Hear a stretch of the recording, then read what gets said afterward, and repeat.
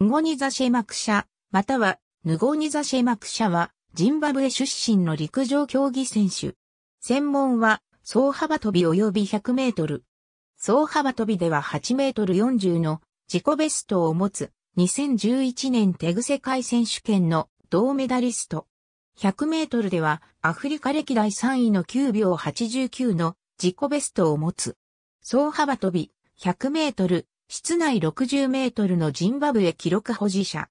総幅跳びと100メートルでハイレベルな記録を持ち、2011年の NCWA 選手権で史上4人目となる男子総幅跳びと男子100メートルの両種目制覇を達成。2011年テグ世界選手権では男子総幅跳びで銅メダルを獲得し、全種目を通じてジンバブエ勢初の世界選手権メダリストになった。シニア1年目の2007年にアフリカ競技大会に出場すると、一走を務めた男子400メートルリレーで39秒16のジンバブエ新記録樹立と銅メダルに獲得した。シニアの世界大会デビューとなった2008年北京オリンピックでは男子走幅跳びに出場すると予選を8メートル14で突破し、ジンバブエ勢初のオリンピックファイナリストとなった。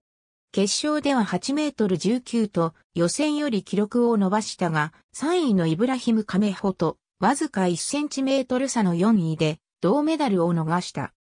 フロリダ州立大学在籍時に数々のタイトルを活躍したが、その中でも特筆すべきものは2011年 NCWA 選手権の男子走幅跳びと男子100メートルの両種目制覇である。走幅跳びでは決勝において自身の持つジンバブエ記録を更新する8メートル40で優勝。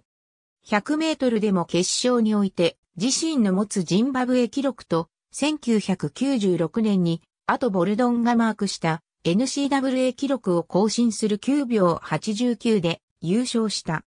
これによりマック社は、1925年のウィリアム・デ・ハート、ハバード、1935年と1936年のジェシー・オーエンス、1981年のカール・ルイスに次ぐ史上4人目となる男子走幅跳びと男子100メートルの両種目制覇を達成した選手となった。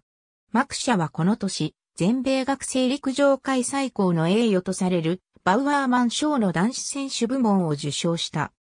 マクシャは2011年 NCWA 選手権男子100メートルで9秒89をマークしたことにより、ナイジェリアのオルソジファスバ、ナミビアのフランク・フレデリクスに次いで100メートルアフリカ歴代3位に名を連ねた。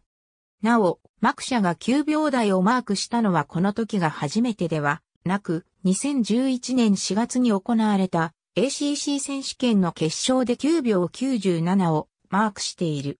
これは1990年にファビアン・ムヤバがマークした10秒15を更新するジンバブエ新記録であり、ジンバブエ人が初めて10秒の壁を突破した瞬間だった。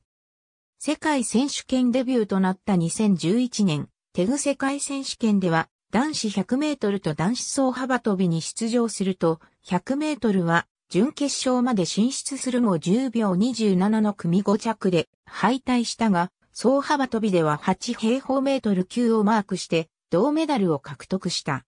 これによりマック社は男女すべての種目を通じてジンバブエ初の世界選手権メダリストとなった。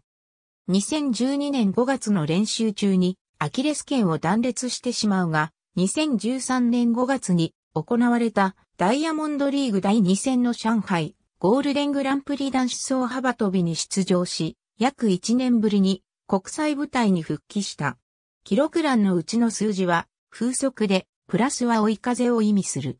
備考欄の記録は当時のもの。ありがとうございます。